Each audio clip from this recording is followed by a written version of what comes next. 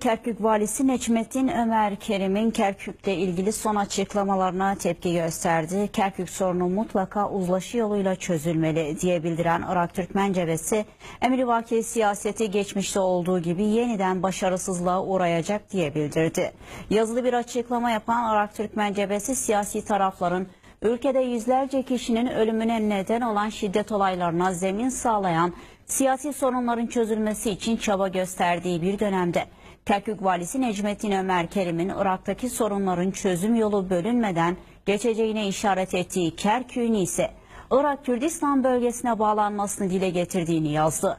Irak Türkmen Cebesi'nin Kerkük Valisi tarafından yapılan bu tür açıklamayı kesinlikle reddediyoruz diye bildiren yazıda Kerkük'ün bir Türkmen şehri olduğunun altı çizildi.